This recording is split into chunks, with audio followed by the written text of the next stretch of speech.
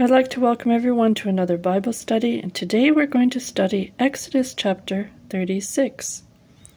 So, if you would like to read along with me, that is great. I'm going to start reading verse 1.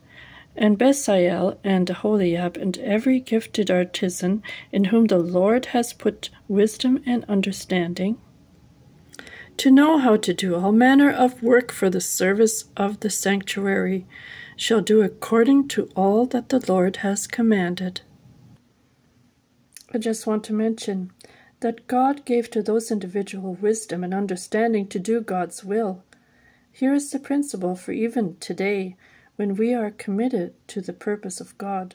God will supply wisdom and understanding, and He will place it in our heart so we think wisely and know what to do. Verse 2 Then Moses called Bezalel and Aholiab, and every gifted artisan in whose heart the Lord had put wisdom, every one whose heart was stirred to come and do the work. Even today we should pray, God, give me insight, wisdom, and understanding, and God, give me your perspective to know your will. Verse 3 And they received from Moses all the offering which the children of Israel had brought for the work of the service of making the sanctuary. So they continued bringing to him freely offerings every morning. And here they were compelled by a generous spirit, and they wanted to give more. Verse 4 and 5 Then all the craftsmen who were doing all the work of the sanctuary came, each from the work he was doing. And they spoke to Moses, saying, The people bring much more than enough for the service of the work which the Lord commanded us to do. Verse 6 and 7 So Moses gave a commandment, and they caused it to be proclaimed throughout the camp, saying, Let neither man nor woman do any more work for the offering of the sanctuary. And the people were restrained from bringing. For the material they had was sufficient for all the work to be done, indeed too much. Verse 8 Then all the gifted artisans among them who worked on the tabernacle made ten curtains woven of fine linen and of blue, purple, and scarlet thread. With artistic design of cherubim they made them. Verse 9 The length of each curtain was twenty eight cubits and the width of each curtain four cubits. The curtains were all the same size. And he coupled five curtains to one another, and the other five curtains he coupled to one another. Verse 11. He made loops of blue yarn on the edge of the curtain on the selvage of one set. Likewise, he did on the other edge of the other curtain of the second set. Verse 12 Fifty loops he made on one curtain, and fifty loops he made on the edge of the curtain on the end of the second set. The loops held the curtains together. Verse 13 And he made fifty claps of gold and coupled the curtains to one another with the claps, that it might be one tabernacle. Verse 14 He made curtains of goat's hair for the tent over the tabernacle. He made eleven curtains. Fifteen.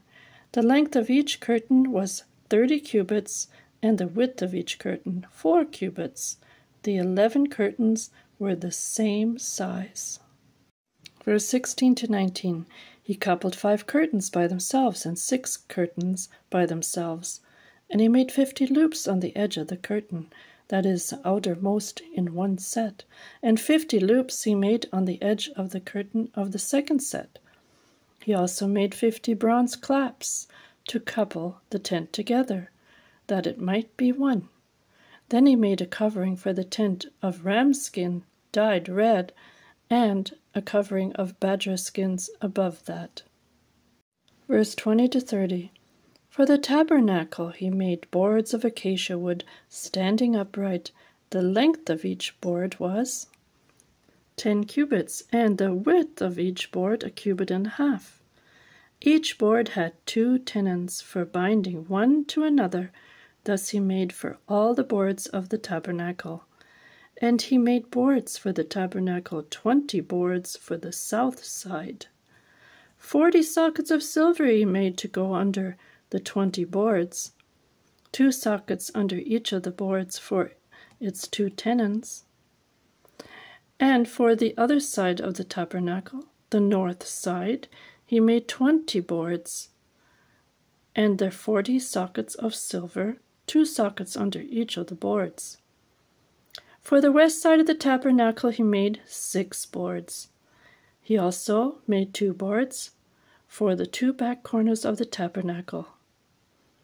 And they were coupled at the bottom and coupled together at the top by one ring. Thus he made both of them for the two corners. So there were eight boards and their sockets, sixteen sockets of silver, two sockets under each of the boards. Verse 31 to 36 And he made bars of acacia wood, five for the boards on one side of the tabernacle, five bars for the boards on the other side of the tabernacle, and five bars for the boards of the tabernacle on the far side westward. And he made the middle bar to pass through the boards from one end to the other. He overlaid the boards with gold, made their rings of gold to be holders for the bars, and overlaid the bars with gold. And he made a veil of blue, purple, and scarlet thread, fine woven linen. It was worked with an artistic design of cherubim. He made for it four pillars of acacia wood and overlaid them with gold, with their hooks of gold, and he cast four sockets of silver for them. Verse 37 38. He also made a screen for the tabernacle door of blue, purple, and scarlet thread, and fine woven linen made by a weaver, and its five pillars with their hooks and he overlaid their capitals and their rings with gold, but their five sockets were bronze. I just want to say that this tabernacle was to bring a change among all the nations of the world, and also an example for us that when we take on God's perspective, there will be a great change in our life. Amen. So I just want to thank you all for taking part in this lesson, and next time we'll study Exodus chapter 37. Till then, God bless you all.